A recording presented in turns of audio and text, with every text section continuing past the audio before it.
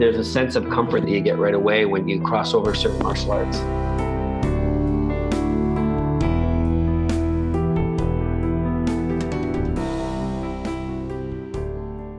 Hello and welcome to the show. This is Whistlekick Martial Arts Radio, episode 360. Today, I'm joined by Sifu Glen Doyle. My name is Jeremy. I'm the founder at Whistlekick. I'm your host on the show, and martial arts is a huge part of my life. So huge that it became my career. You can check out all the things that we work on at Whistlekick. Many of those things I am personally involved in over at whistlekick.com. Don't forget, if you buy something, use the code podcast15. Saves you 15%. It's a thank you from us to you. And honestly, lets us know that this podcast is worth doing. Because let's face it, this is a business and we've got to make some money somewhere because I need to eat. Not a lot, but I do need to eat something. Here we are, 360 episodes in, and we're still finding new martial arts to talk about. Did you know that there were Irish martial arts traditions? Well, today's guest not only has family lineage through Irish martial arts, but also something that most of us would consider more contemporary, more conventional in that Kung Fu. So we not only get to talk about each of those arts, but the contrast, the similarities between the two, and the wonderful story that unfolds as Sifu Doyle talks about his life and his navigation through both of those arts and what it meant to him and his family.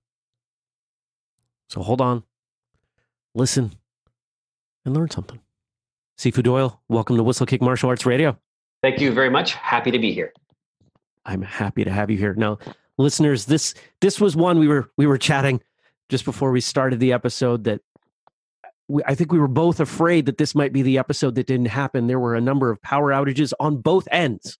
It was crazy. I've had issues with with my with losing power here. I've had issues with guests losing power there. I don't think we've ever had an episode scheduled for a time where both sides lost power. I like to respond like an echo. awesome. But we're here. We're here now, and I, I appreciate appreciate your flexibility in rescheduling. Uh, I'm looking forward to talking to you. My pleasure. My pleasure. Great. Well, let's start the way we start.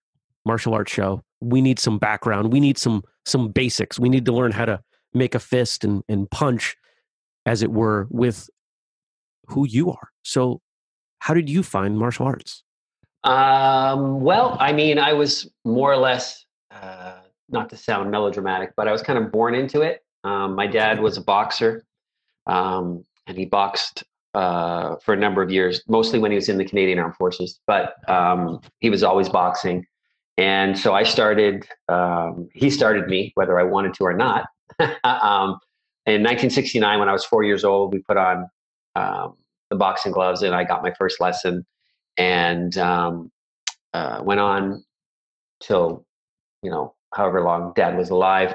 Uh, he started me in boxing and then in 70, 1972, he started me in stick fighting. And then I wanted to branch out and learn other styles and stuff. So in and around 1980, 1981, I branched out and joined a uh, Chinese Kung Fu club in Toronto. And uh, I stayed with that club until uh, my Sifu, Sifu Lor Ging Hong, passed away in uh, 2008.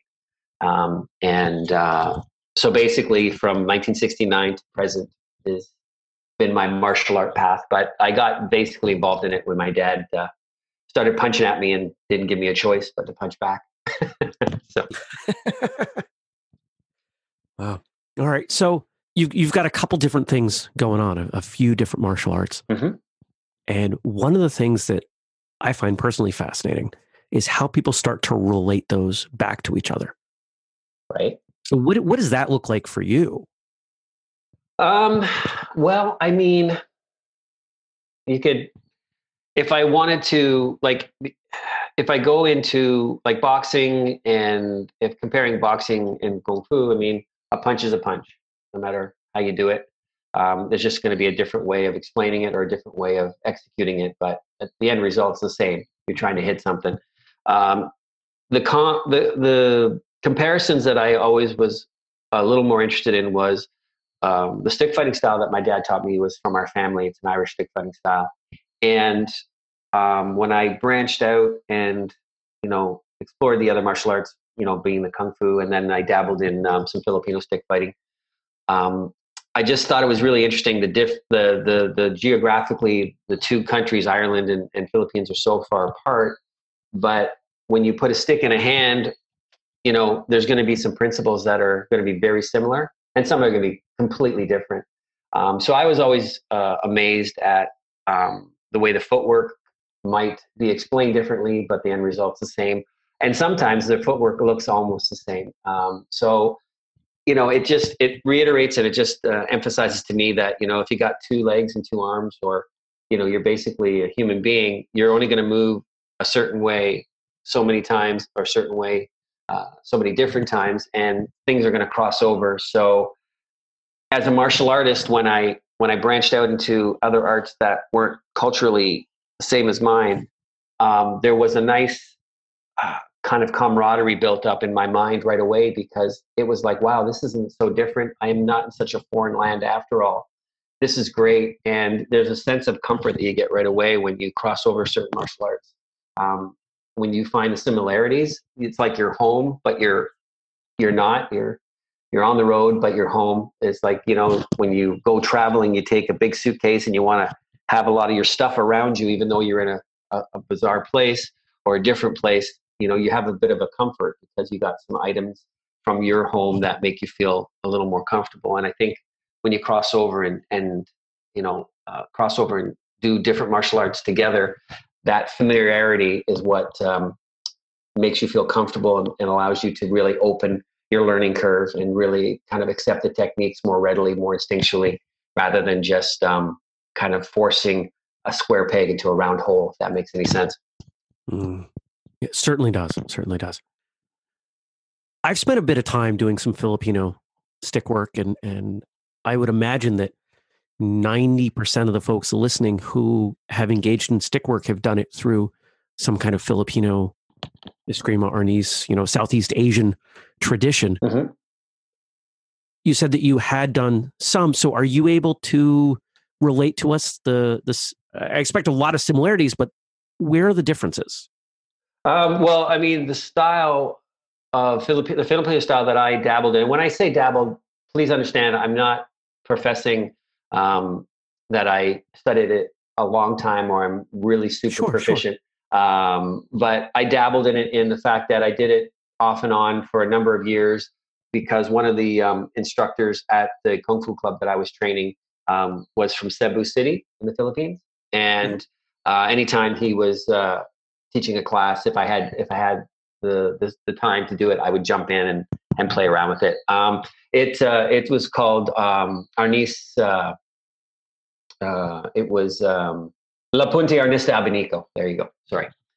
Um, and um, it uh, uh, I believe, is fan style, if I'm not mistaken, and it uh, it's a single hand uh, uh, stick fighting style, which is the biggest difference between what I was taught with from my dad, which was two handed, um, and um, and uh, the the stick is a lot longer in the Irish system, um, a little heavier uh, because it's a blackthorn, it's a heavier wood, where the Filipino system is using the rattan. Um, a lot of mm. whirling strikes in the Filipino systems, very fast, explosive. Um, and uh, I found that uh, I liked the the way that uh, the multiple quick hits, the, the, the rapid hits in the Filipino systems was something I really loved. I was just, it was so different um, from the Irish stuff. So I was uh, I was like a kid in a candy store when I first played around with it. So. nice. It, it, it almost um, you know I, I, have some some Irish roots. In fact, my, my father lives just outside of Cork. And, um, I've I've used some blackthorn sticks, and I mean they're they're durable, they're heavy. So, is the is the stick fighting tradition that you that you come from that you're passing on? Is there some synergy there with like bladed weapons? Um, no, no. They uh, okay. uh, the only connection to bladed weapons is um, basically um, the Irish stick fighting came to be simply because of penal laws and whatnot. The you know Irish uh, citizens, um, especially the peasants, uh, weren't allowed access to weapons. um, and a lot of a lot of Irishmen fought in foreign armies um, in the 17, 1800s, and they learned fencing, they learned swordplay in the foreign army. So when they came back, um, that's all they had to draw upon. But because they didn't have access to bladed weapons, they used the stick, and you know they had to you know adapt the slashing and stabbing motions for more you know thumping and striking.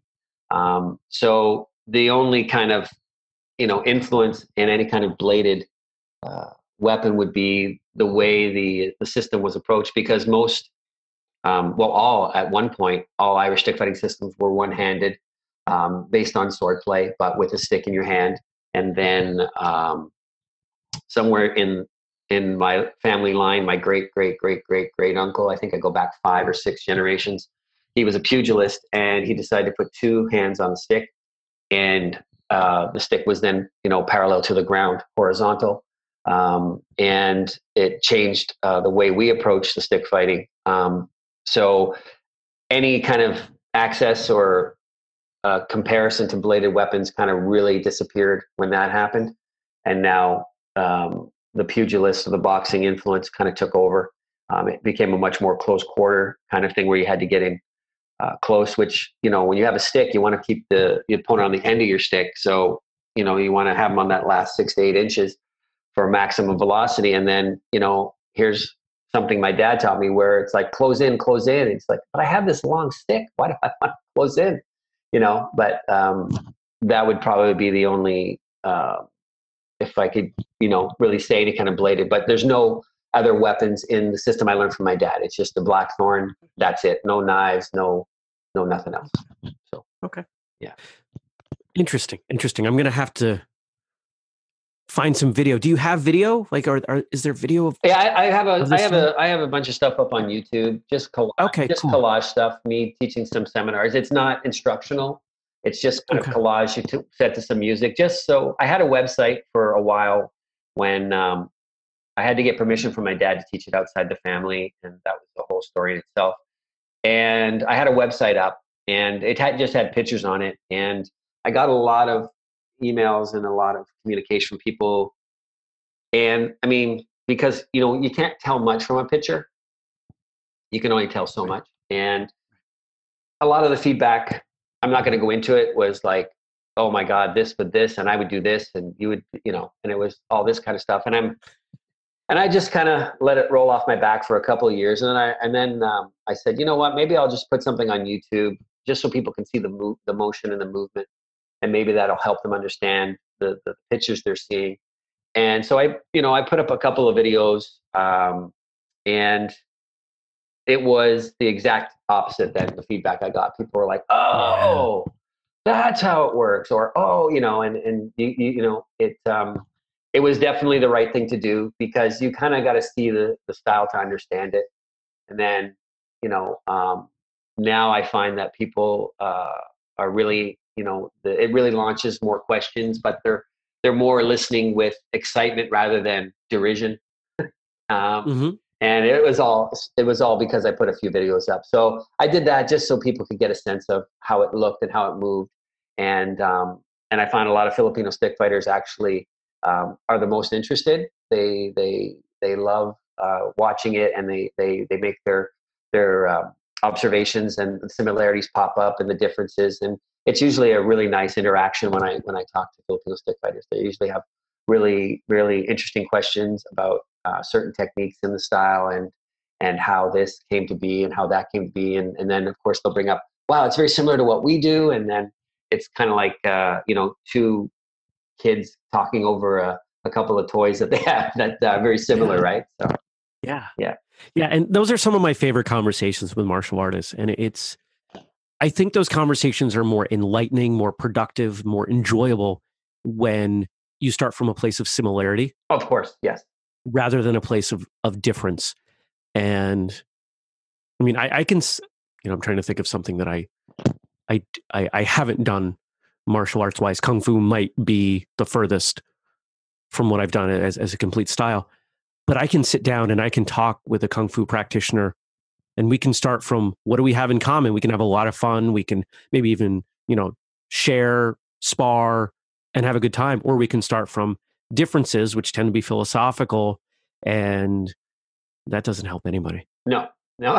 Usually, uh, well, it sets the tone, right? Because I think when you when you come from a, a, a place of similarity, then the camaraderie is right. It's built right in. Um, if you if you come from a sense of difference, there's always this this little underlying tone of, are you saying your style's better? Right. Because it's so different. Like what I mean, I've studied this. I know my style really well. Why are you saying yours is better? And it's like you're not saying that, but if you're if you're coming at them from the differences, and people tend to lean towards that. It seems to be kind of human nature. Well, what's wrong with my style? What do you mean your style's different? What do you, what do you start when you when you when you come at the the other person from the point of wow we can do this it's very similar to what you do. All of a sudden you know um, they they listen with their ears wide open rather than looking for reasons to be offended right? That's that's been my kind of take on it. And um, when i teach seminars you know i always have my opening speech and i always say you know i don't denigrate or take away from any other style. And um, i always say that I'm saying that we do it this way. I'm not saying it's better or worse than what you do. I'm just saying we're different. And that seems to really actually set the tone for the seminar. And I, you know, knock on wood, I haven't had any issues at this point. So that's great. Yeah. Good.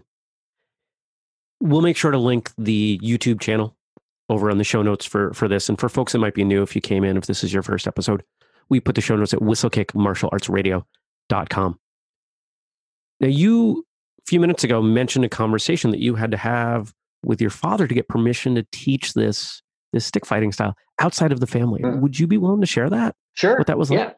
Um, yeah. Well, I mean, the system was only passed on through the family, so you have to have, you had to have the surname Doyle to learn it, and they were very strict about that. And Irish traditions, oral oral tradition is very very uh, predominant in Irish culture.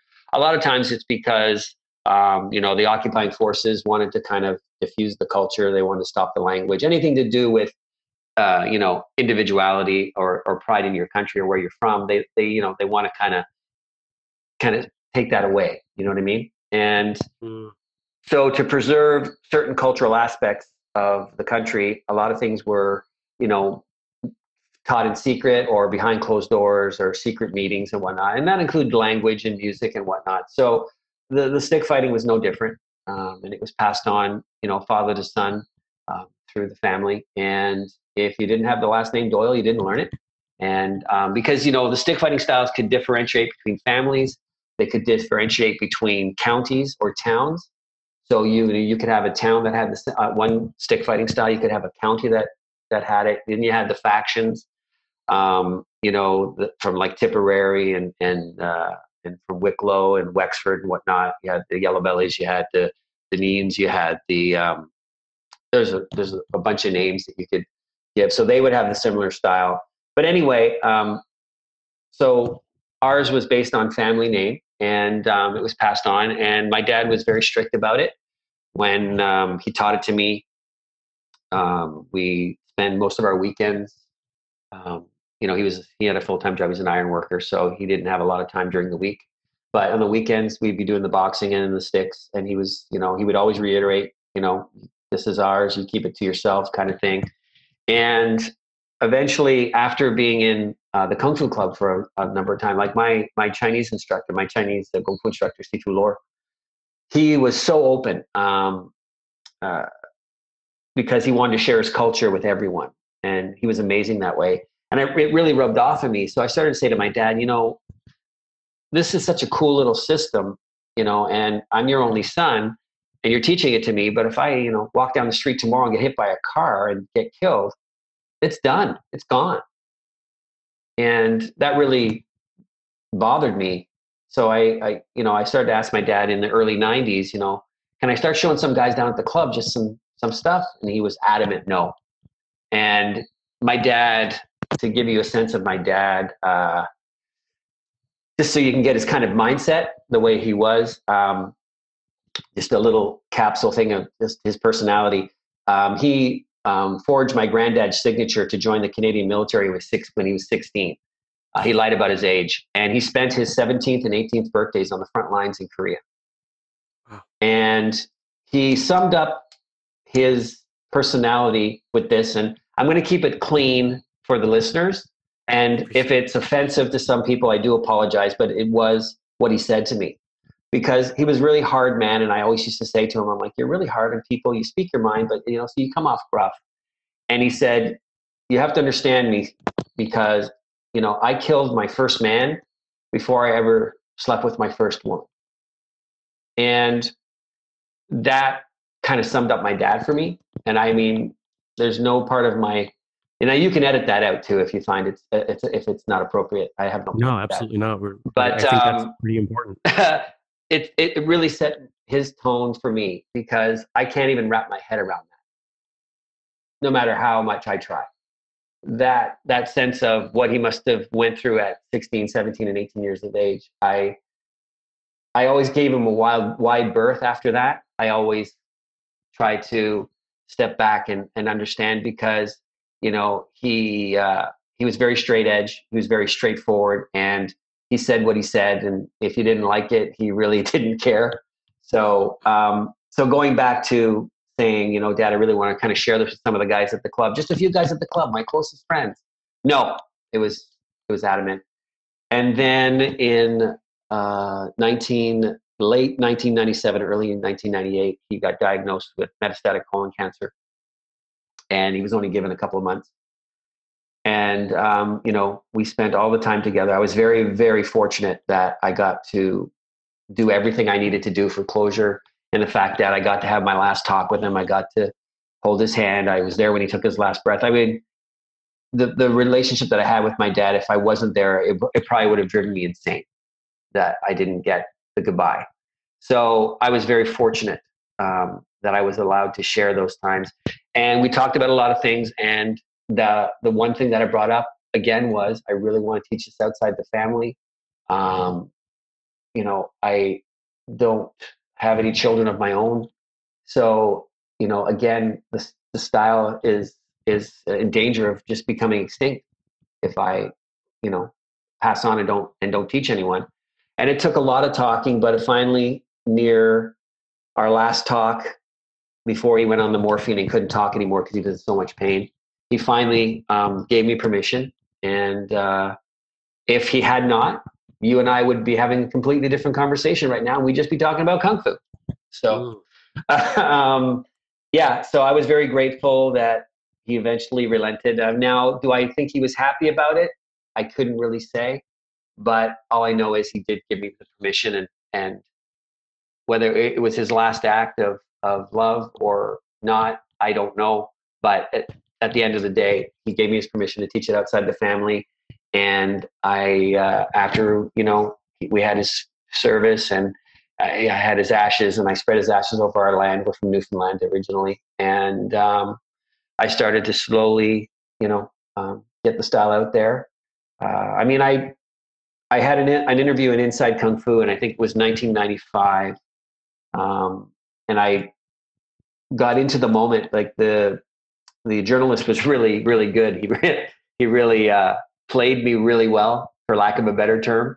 Anyway, and I and I blurted out this you know the Irish stick fighting, and then I immediately you know stopped talking about it. But he did mention it in the article, and um, the ballyrag and I got from my dad about that. Let me tell you, that went on for a couple of years. So uh, I learned my lesson. But yeah, he um, he basically gave me permission just before he passed away.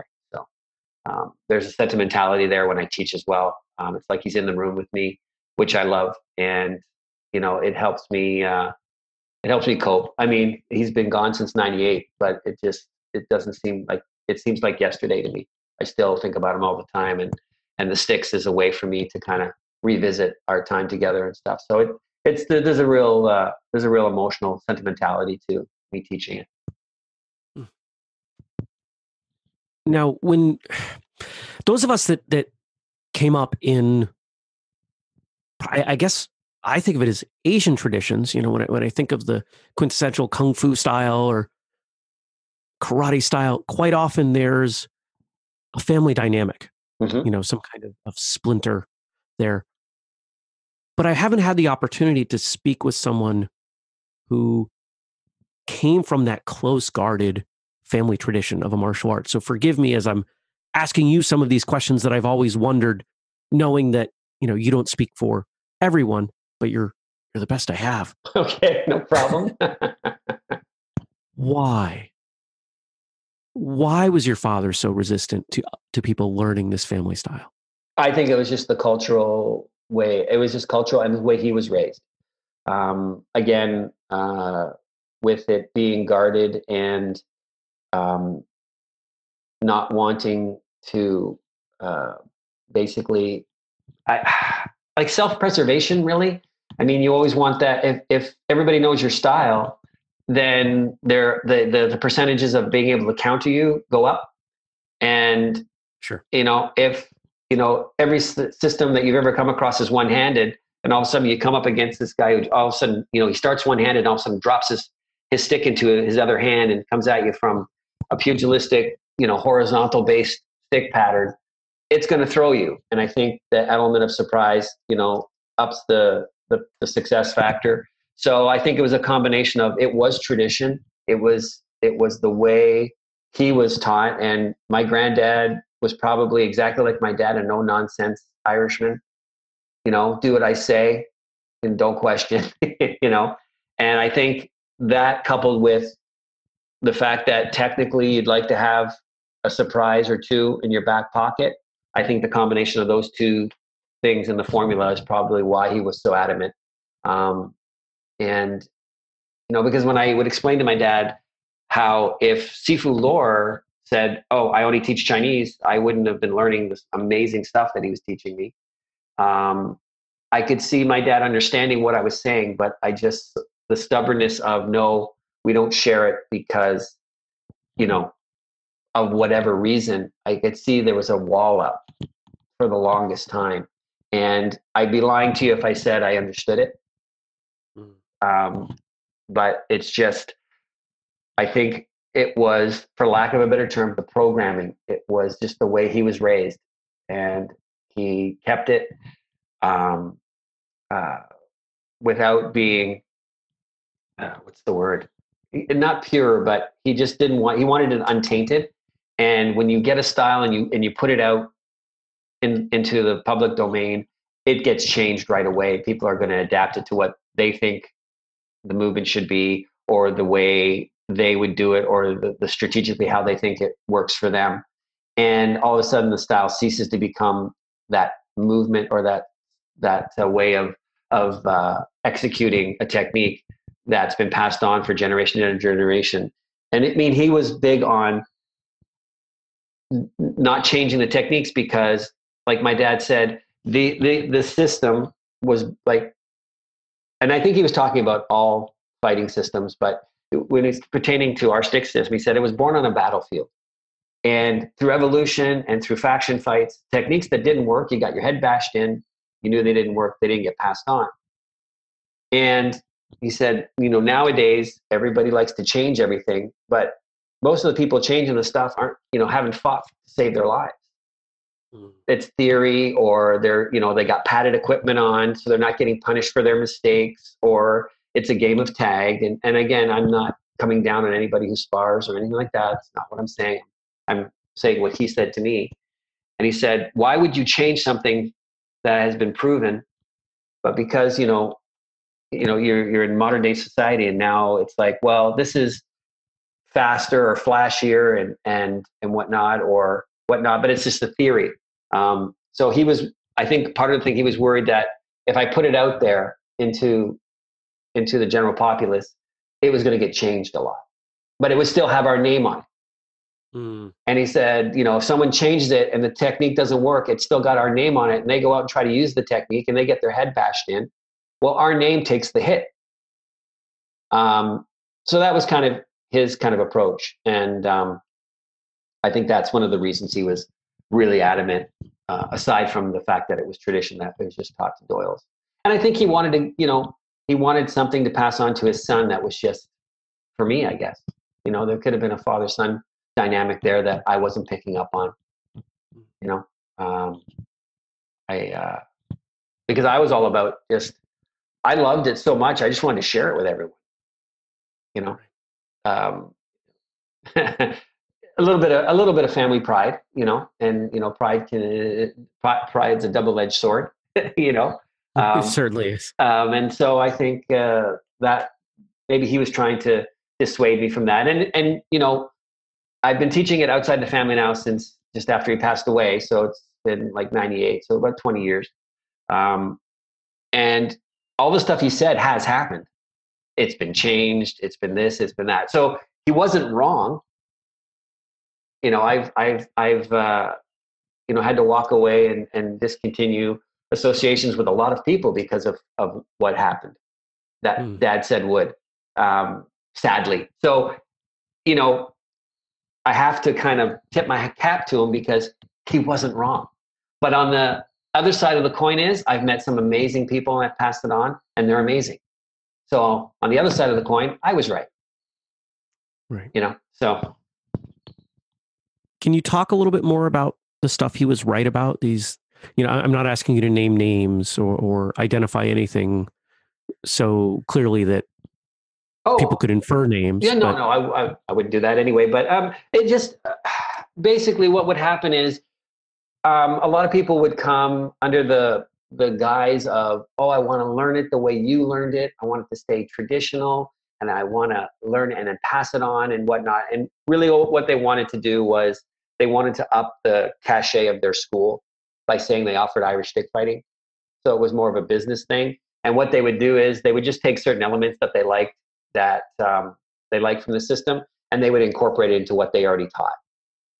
So if I did a numbered system, so let's say I taught a sequence, or there's a technique that let's say has five movements in a sequence. This is like I'll try to be really kind of basic here. Um, and we go movement one, two, three, four, five, and they take the movement. Well, movement one and two would be from the Doyle system, and then movement three, four, and five would be from where what they learned. So it, it would become a hybrid, and it would get infused. And then uh, what happened is it started to uh, then the people they they taught would then change a little bit when they started. So you know, two or three um, students or two or three lessons down the road, it didn't even look anything like what I had taught them. Yet it still had our family name on it. And um, and you can you'll see it when you if you search Doyle stick fighting, you'll find a number of videos on YouTube aside from mine, and you'll see if you have martial art eyes, you'll see exactly what I'm talking. Um, and I don't deny anybody that I've trained. If someone wrote to me and said, blah, blah, blah, says he's, and I will not lie, I'll say, yep, he learned under me.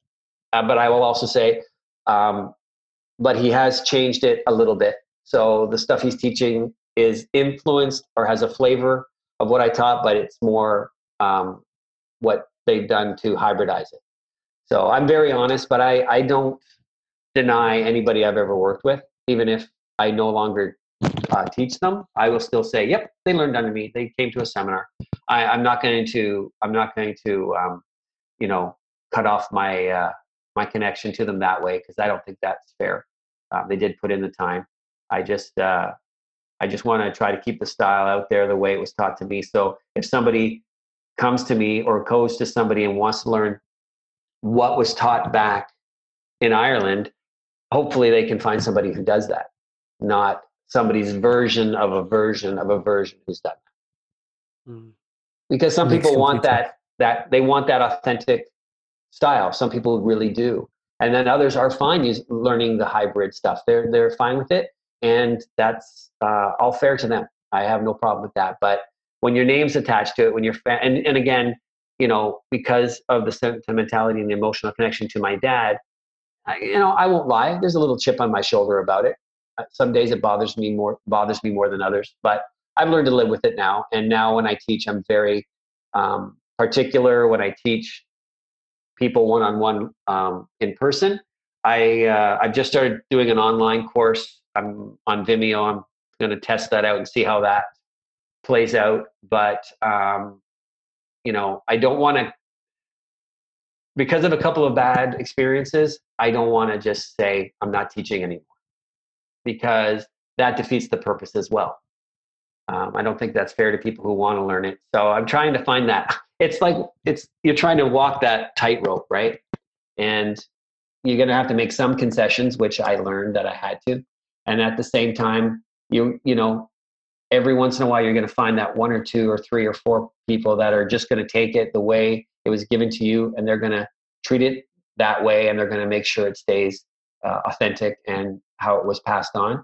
And those are the victories that i take. And then all the other ones i got to spend some time with uh, different people and different personalities and I, I, choose to take the positive away rather than the negative. Um, because if i keep the negative man i'll just be uh, i'll just be the grumpiest person in the world and i don't want that i get it i get it no I, I can i can completely see what you're talking about makes makes makes a lot of sense. Yeah, I mean the idea that it's not just a martial art; it's your lineage, it's your it's your tie to your father. It's so many things, and and I don't think anyone else is going to be able to fully embrace that, even if they intellectually understand it.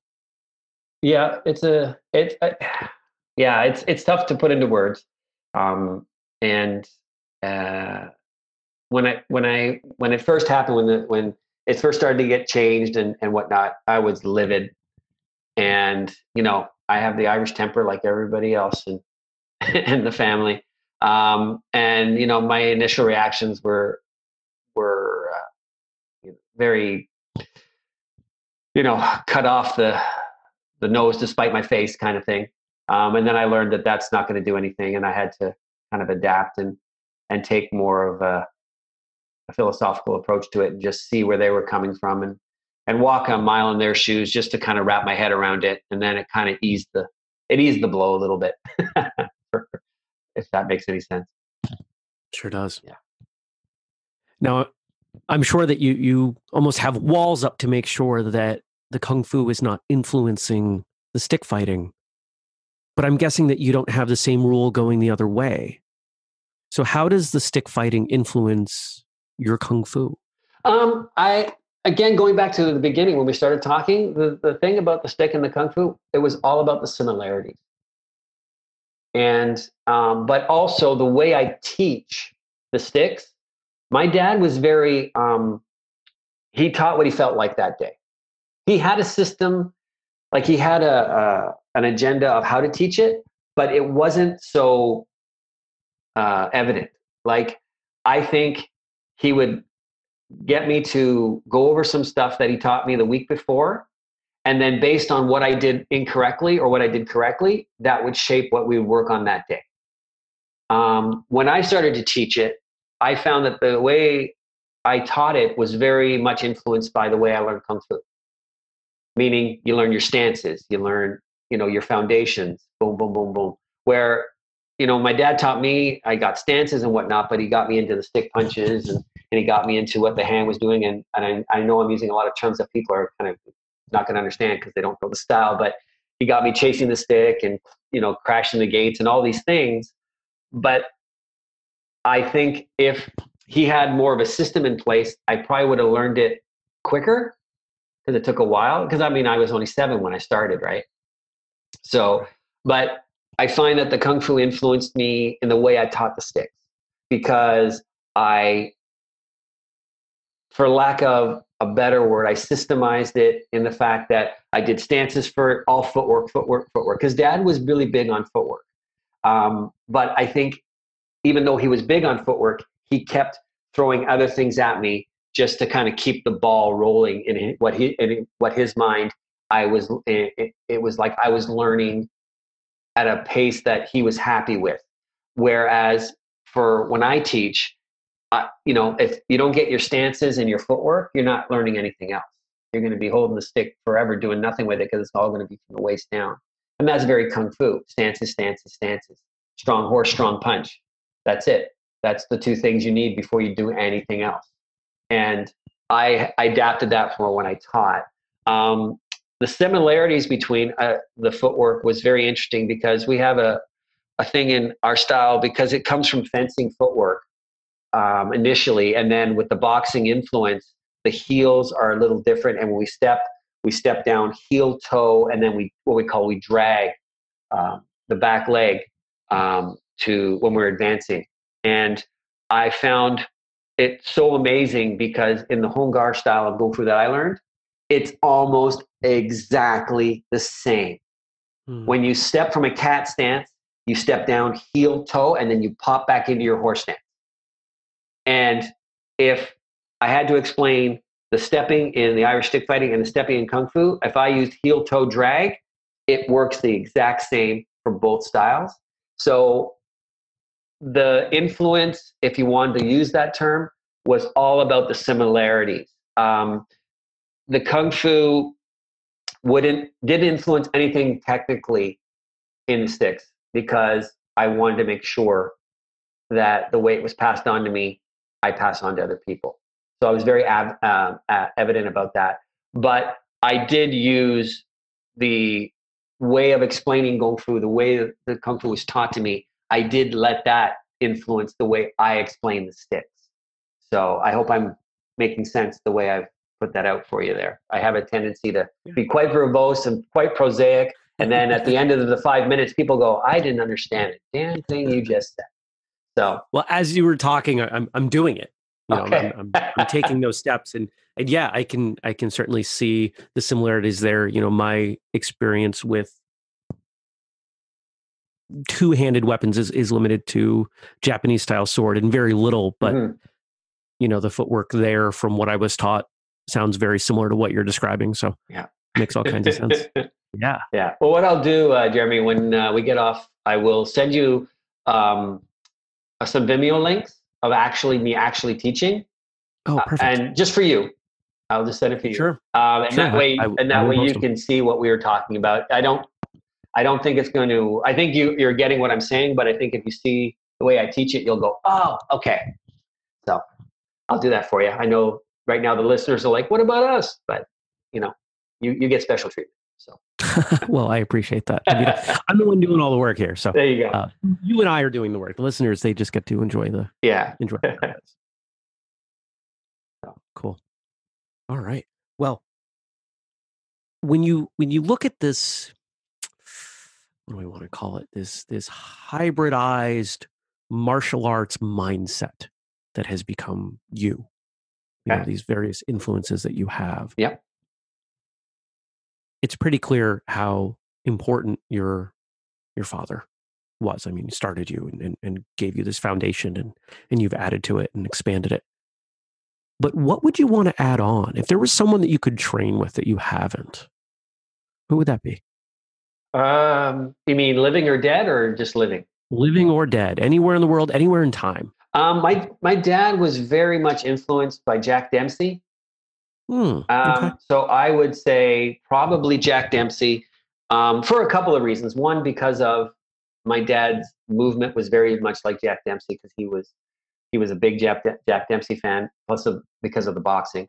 But also, um, Jack Dempsey was quite an interesting person because I don't know a lot of people know this, but you know I believe he was in the Coast Guard, if I'm not mistaken. Now I could be mistaken about that, and if I am, I apologize. But I know he was in service um, in some form, and I think it was the Coast Guard. But he taught a lot of self-defense stuff. It wasn't just boxing; it was you know knees and elbows and and whatnot. Um, so he was very very well-rounded, and um, I think he would just be an amazing person to train with, simply because he's almost uh, what I would say a similar thing to what I do is the fact that he's got the boxing, but then on the other side of the coin, he had, you know, the other fighting techniques that were, if you want to call them street or, you know, um, a little more lower body and upper body because with the with the knees and the and the strikes and the elbows and whatnot. So I think he would be an amazing person to train with. I, would love to talk to him about his mindset because he had that ever forward kind of attack. Um, and you know, my dad used to teach me the sticks. He always would say that phrase, "ever forward, ever forward." So, I mean, just on that alone, I think that would be my choice. I would love to to have trained with him and just to, to pick his brain and just to see how he saw the, the martial world and uh, and to see how he would approach it. So that would be my answer. Nice. I'm sure from your time training and traveling, teaching, you know, whether that's your own students or seminars, you've got a lot of stories. Uh, What's your what's your what's your favorite one? You know, it can be it can be sad, it can be happy, it can be funny. You know, just I love the stories that martial artists have, and that's really the root of this show. Is I just wanted an excuse to get people to tell me their stories. so what, what's um, what's yours? wow. Can I get a tone for the story? Do you want a story of me learning from someone, or do you want me teaching someone, or The one that so here here's the setup. You know, you and you and I are at a barbecue, and we find out that we're both martial artists. Mhm. And we're sharing a beer or whiskey or whatever. okay?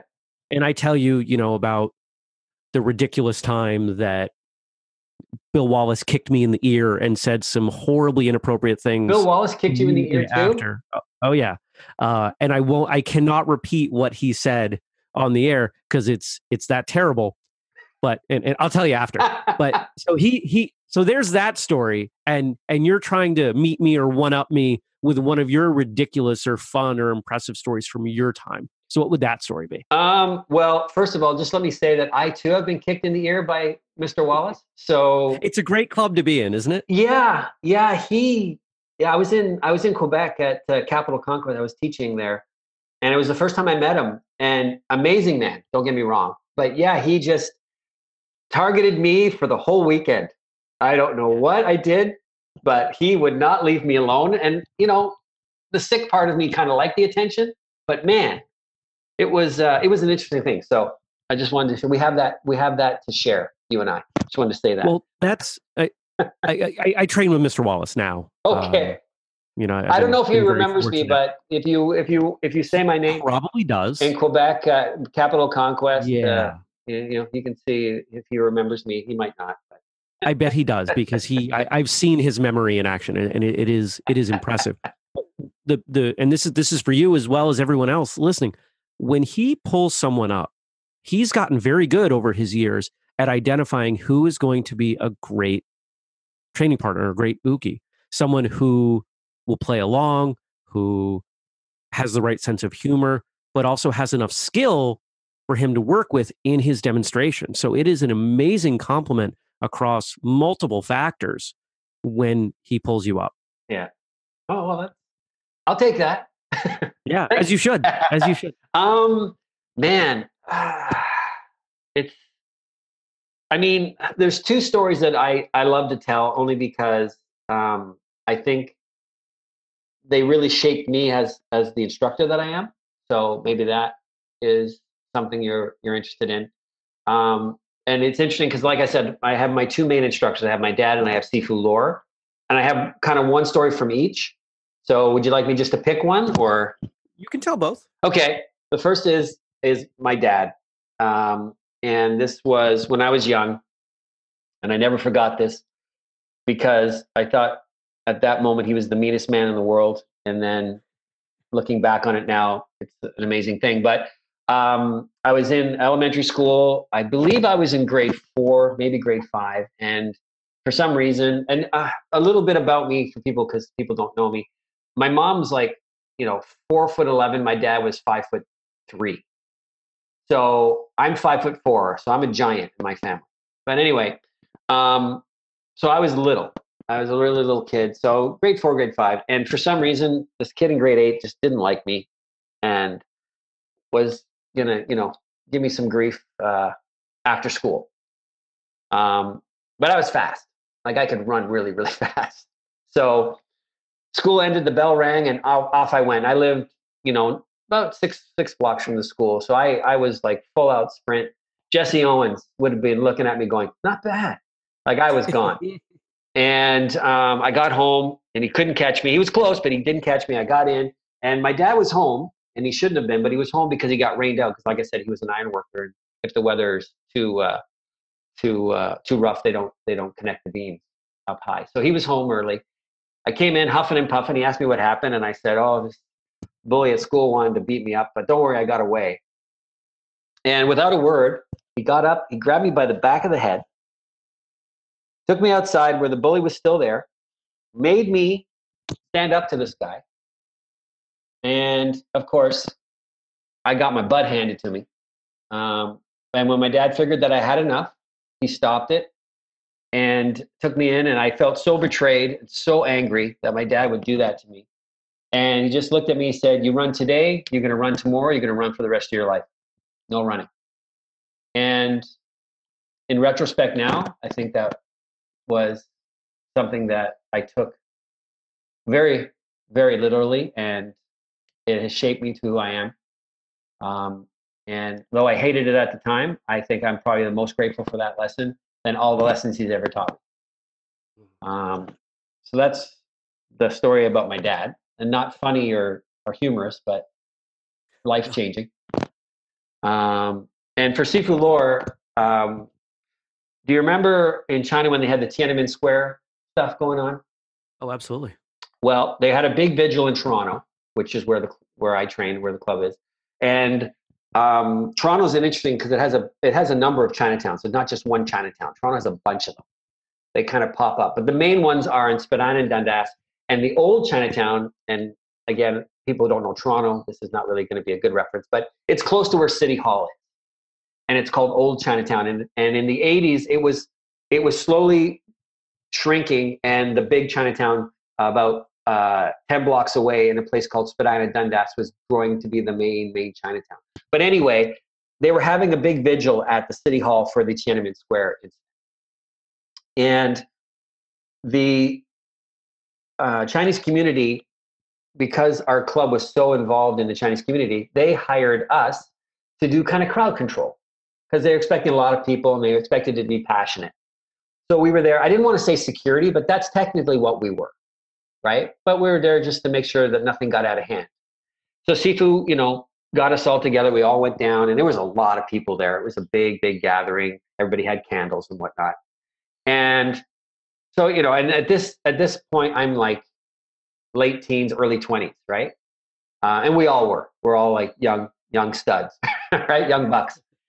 So we're all we're all uh, spaced around this one section, and the speeches start, and this one guy in the crowd starts to get really passionate and wants to go up and speak. So he tries to push his way up to the stage, and you know, Sifu was sitting there, and, and he loved his uh, Tim Hortons coffee. As it's a rule in Canada, you have to love your Tim Hortons coffee. So, um, but anyway, he was having his coffee, and um, this guy was really, really passionate. He's like, "I want to go up there and speak." He's saying this in Chinese, but I didn't know what he was saying but I could tell by his body language he was getting very, very aggressive. So here are all of us, these young bucks, you know, full of piss and vinegar. We do kung fu. We're awesome. We're gonna just, you know, we're we're just gonna be right out of the movies. We're gonna take care of this.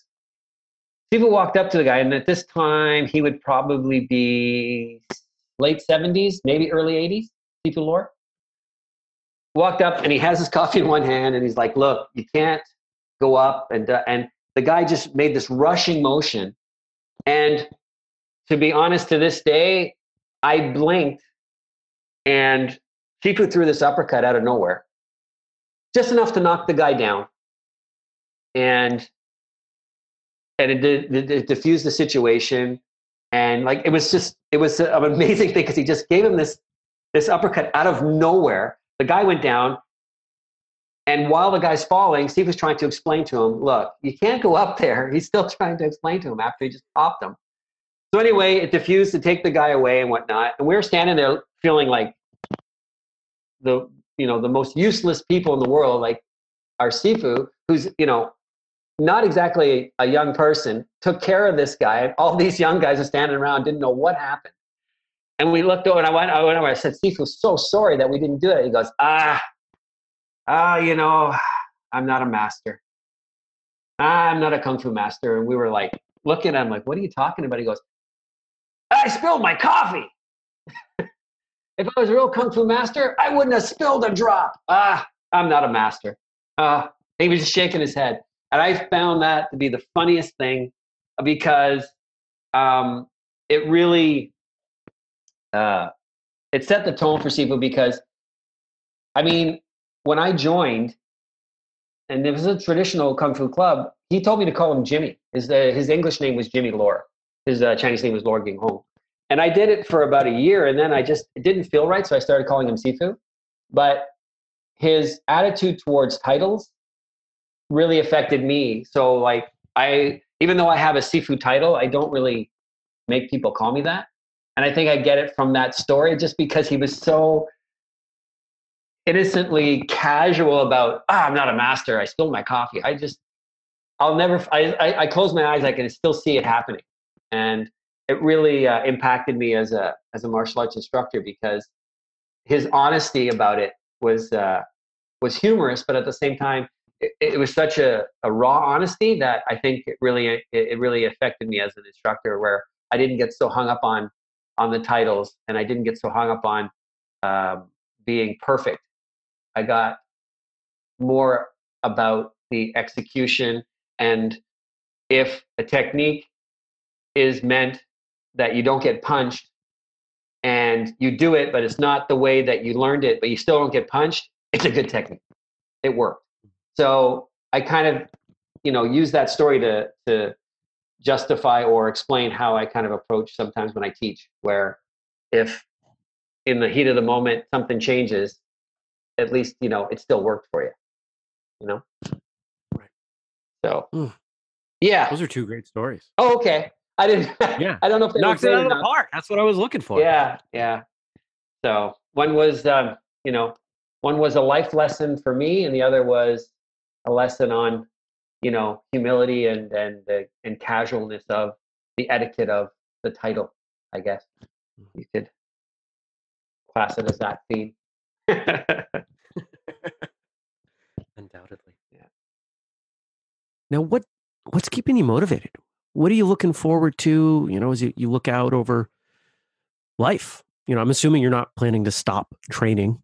Um, no, I I um I had to uh, I had to stop uh, training um, for a number of years. Um, in uh, 2012, 2013, um, I had um, it's her. It's it's nothing to do with uh, training. It's not a training injury. It's more uh, hereditary. But my shoulders. Um, I had this thing called frozen shoulder. I don't know if you've ever heard of that.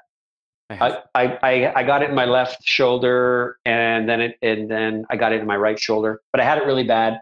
Um, but it is genetic. My dad had it in his elbow. He got frozen elbow when he was older. And what, what happened was it comes out of nowhere. And I mean, nobody, I went to every person you could think of, and no one really knows what causes it. They have theories. But I woke up with it one day. I just woke up with it and I had it. I went to bed feeling fine. I Woke up the next day and my, my left shoulder, I could barely lift my arm. And it was really, uh, it was really debilitating and I couldn't teach. So I had to, you know, I thought actually my teaching was over. I thought my career was over because I couldn't do much with it. And then you know, they say it can last any anywhere from a month to two years, and um, mine lasted the full two because my body's that way. Um, but um, it started to to loosen up and when I mean I went to rehab and stuff and it did help a bit, but teach was really tough. And then as the left one was getting better, it, eh, better, it actually moved over into my right. I had to deal with that on my right. So I only till recently, like in the last year and a half, have I really started teaching again. So I haven't, I didn't do a lot of physical stuff because I couldn't move. So I gained a lot of weight, um, and I'm still not happy with where my weight is. So what I'm looking forward to now is my shoulders are are still they're still an issue, but I can teach again um, and whatnot. So I'm looking forward to using the the teaching and um, my training to try to get back to where I feel a little healthier. Um, so I'm using it as as my motivation, but also as my tool to to reinvent myself at this age. I'm 53 now, so um, I'm just trying to get to a point where I can still teach, uh, do things, but also just just to improve my overall uh, mobility and get my health back to where I want it to be. Um, I mean, I'm I'm not in poor health by any means, there are people on this planet way worse off than me and i and i feel blessed that i am where i am but i'm going to use what i've learned and what i teach and whatnot to try to use that as the catalyst to get me back to where i want to be physically so that's probably where i am right now and it's it's uh it's been frustrating it's really tested my patience um, and you really try to look at yourself in a different light when you think something you've had for so long is just suddenly taken away from you. because I thought it was gone. Like I thought my martial arts or my martial art career was done. Like I really did, and I had to embrace that. And it it was it was a pretty dark time for a couple of years. Um, mm. And I mean, I'm still coming out of it. Um, I'm still a little. Uh, I have I still have some dark days. You know, uh, when I can't move like I used to, and um, and it's it's frustrating. But there's there's motivation and frustration if you know where to look, and that's kind of where I'm looking now. So that's what I'm looking forward to uh, in the future is just to get myself back. Um, and also, I mean, I haven't given up on wanting to pass the the my family's stick fighting style on to the world. I still want to do that, and that again is why I've started the online course because it allows me to teach on my good days when my shoulders are really working well and whatnot. Um, because doing live seminars is great, but every once in a while, you know, I get up to do a seminar and it's a bad day. It's a bad shoulder day, like I call it. And it's like, oh, because when I go to teach a seminar, I'm all about the people taking the seminar. They're giving up their time for me. They're allowing me to step into their minds and move things around the way they move physically, the way they move tactically. That is a huge honor. And I never want to misrepresent myself and I never want to take that time with them and not maximize it out so they benefit. So if I book a seminar and then on that day my shoulders aren't working for me and they only get like 50% of what I can do or they only get half of me, you know, demonstrating and, and, showing how it's supposed to work, I feel like I let them down. And I don't want to do that. So I think that's probably why I came up with the, the online thing because I can tape it. I can I can make sure it's edited in the best way to show the technique, the best way I did it, so they get that sense. Because I, I I I do it like a seminar, obviously, but I'm talking to the camera. But they get to at least see everything I'm talking about. Where in a live seminar, if I'm having a bad day, sometimes I have to gloss over stuff, and I just don't think that's fair. If people are are giving their time and their physical availability, and again allowing me to step into their mind and, and influence the way they move, they got to be getting the, the, the best part of me, right? So that I'm not there yet. So that's why I've really tapered back my my live seminars right now because I'm not in a place um, uh, physically with my shoulders just yet where I I know I can show up and be ready to rock and roll for their benefit because I'm all again I'm all about the people taking the seminar because I want them to walk out of that seminar going that was like the best three hours, four hours I've ever spent. You know, I'm not mm. saying that from from an egotistical thing where I want them to tell everybody that. I want them to feel that. Okay. Yeah. Yeah. Yeah. I I, I get it. I, I've um you know without going too deep, I've experienced some not not that injury, but certainly some injuries that have limited my ability to present information, and I know how frustrating that can be. Oh yeah you know when yeah. it when it's keeping you from multiple goals your own training and and the ability to pass on your knowledge i i, I understand that oh yeah how, yeah it's uh yeah you, you you shake your fist to the heavens quite a few times mm. now you mentioned this stuff that's coming but you don't have a website. So what do people do if they want to keep tabs on you and and you know sign up for this course when it's ready or or you know keep oh. keep up on where your seminars are going to be? Um usually well, i have a facebook group. Um there's a doyle irish stick fighting facebook group and everybody kind of joins that. And anything i have coming up i i make an announcement there. Um i do have um i do have a website but my website is for me as a whole so um, because i i'm a writer as well um, and I really embraced it a lot when, you know, my shoulders weren't working so well. So um, I, I, I write like scripts and stuff, and I do films and whatnot. So my my website's more of a catch-all, but there is a page on there that people can write me and contact me, um, and uh, and keep tabs on what I'm doing martial art wise. Um, I haven't. Uh, I'm not a big like. I'm terrible. I'm a terrible businessman Okay, this day. um, and I always have been. Um, I have lost so much money teaching that I'm surprised my wife is still with me, but she's an, an angel and she puts up with so much.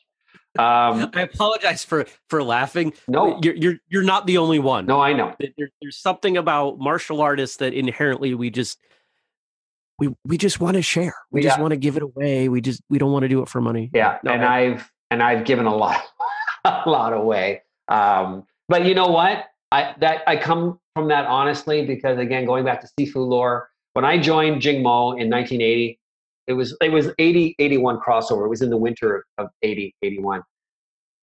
The, the it was a, what we call a dungeon club, and I don't know if you've ever heard that term, but the only way you join is by knowing someone. Like it's the old style Chinese club. They, there's no advertising. You, if you know a member, you, you think. Now, I came across it by accident. And I was, again, it was near, near City Hall. I was with some friends down at City Hall, and I had been uh, looking for a martial art, uh, other martial arts. Um, as usual, I know it sounds really, really stereotypical, but I saw a Bruce Lee movie, and I said, "Wow, I want to do what that guy does. I really want to, really want to see what it is." And so I, you know, I did some research, and I found out he did this thing called kung fu. So I said, "Okay, I'm going to try and find kung fu." So I was actively looking for kung fu clubs in Toronto, and all the ones that I I visited, I just, you know, when you just you you just don't feel it. I was I just wasn't feeling it. I went to I went visited all of them and I just wasn't feeling it. So I was kind of like, oh, maybe the kung fu thing is not what I'll do. Maybe I'll uh, try out a taekwondo or an aikido. There was a bunch of clubs. Toronto had so many to choose from.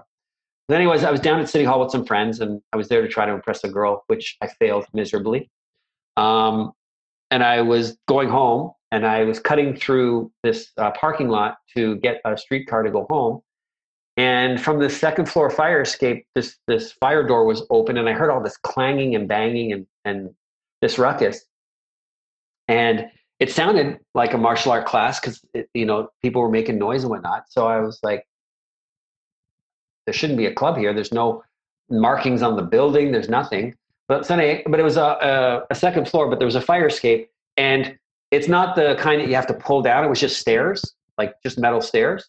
So I just walked up and took a peek in, and I saw all these guys using these these weapons. Some guys were on a heavy bag. Some guys were you know doing hand forms and stuff. And I kind of peeked in, and Sifu Lor was sit, sitting watching everybody, and he spotted me, and he he's like, "Hey, what are you doing?" And I was just like startled, and I said, "Sorry, I just I heard what I thought was a martial art class, and I was just peeking." And he told me to come in, and he made me sit down, and he made every one of his students do a form for me to show what he taught you know, I mean, you got to understand, I was like in my teens, my hair was long. I looked like a real punk, really, for lack of a better term.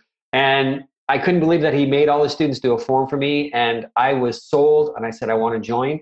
So I showed up the next day and I was like, you know, the average price back then when I had searched all the other clubs, again, this is in the 80s, was about 65 to 70 a month to be a member. And he charged me $10 and I was like, I couldn't believe it. I'm like, okay. So I gave him 10 bucks a month. I trained, I went, it was opened every day, seven days a week from 5 to 10, 5 p.m. to 10 p.m. every day, except on weekends, it was, it was noon to like 5. But 5 p.m. to 10 p.m. on weekdays, I went every day. I didn't miss a day for six months.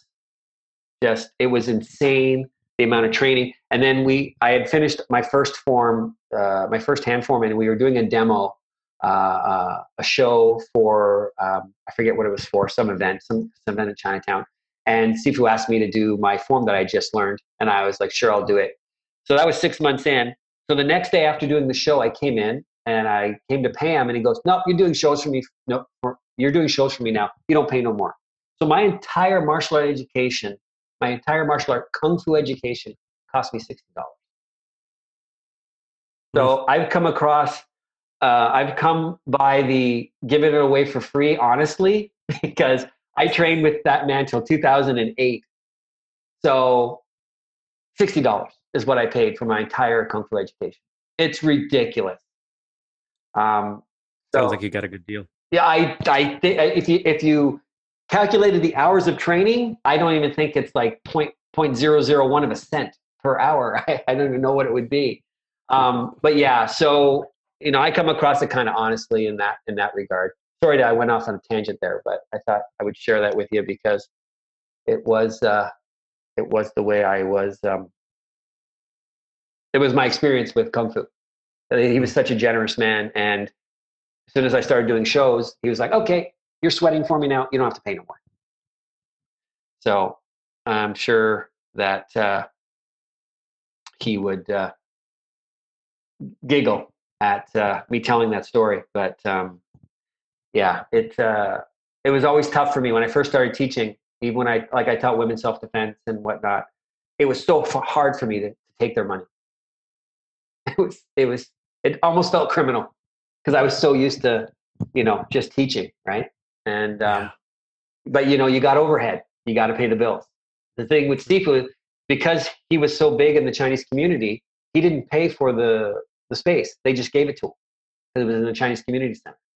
So he had no overhead, right? So it was a little different for him. But you know, you don't kind of factor that in when you're when you're kind of learning. You're you're just like, wow, I got all this for sixty dollars, and now I'm charging people all this money to teach what I learned for sixty dollars. There's a little bit of guilt there, but I got over it eventually. I don't know if I I don't know if I agree with that. Well, maybe I didn't. Sound- But as far as my wife, like maybe mostly As- halfway. as far as my wife's concerned, I've gotten over it. Okay, between you and me. All right, I won't tell. I won't tell. I Promise. You know, this this this has been a lot of fun. I've really enjoyed getting to talk to you today, and and t- totally worth the wait, the reschedule. So again, thank you for your flexibility. oh, thank you so much. And I want to ask just one more kindness, if I would. Sure. What parting words would you offer up to the folks listening today? Um. Well, I would say I'm gonna. I'm almost paraphrasing my dad to a degree, but not so much. But just if if you're taking a martial art, it comes from somewhere. Just I understand that the current state of mind is, you know, new is better. Everything needs to be updated, but you know, through evolution and actual, you know, life and death experiences, those techniques you're learning have been passed on for a reason and they they they belong there because they earn the right to be there. So maybe just respect the past so much. Don't be into an all fired hurry to change things. Maybe just you know see how you can adapt them. Um, and the other thing is don't just be a fighter be a warrior. And that's the one thing that my dad and sifu Lor they said it in different ways but they said the same thing. And a fighter is someone who fights to keep themselves safe, but keep themselves safe, or you know to overcome their opponent. But a warrior not only trains for self-preservation, but also fights for those who can't fight for themselves. And when you're a martial artist, you're you're taking on a responsibility um, from the ages before you, from the generations before you. So try to be a warrior, and always remember that there's people out there that can't fight for themselves, and if you have the opportunity to do it in a safe, legal way.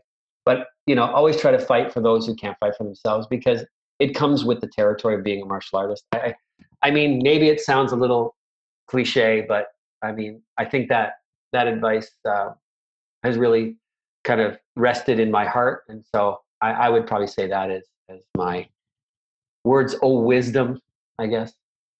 I bet you could tell I had a ton of fun talking to Sifu Doyle. I mean, what what a what a great guy. What great stories. And how powerful it is that he gets to pass on something he loves that is both martial arts and his family. I'll admit, I'm a bit jealous. Thank you, sir, for coming on the show today. You can find show notes with a bunch of photos and notes and links and other cool stuff whistlekickmartialartsradio.com. If you hit whistlekick.com, you can sign up for the newsletter. You could make a purchase, and don't forget the code podcast15 to save 15%.